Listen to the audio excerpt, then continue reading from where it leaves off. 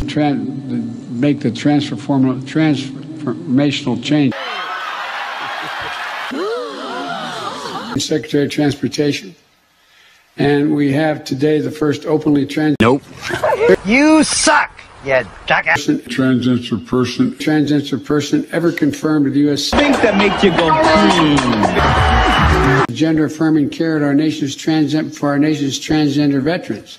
As Commander in Chief, I was proud to have ended the ban on transgender Americans. Transgender Americans. Trans. Whaley has landed several of those inside low kicks.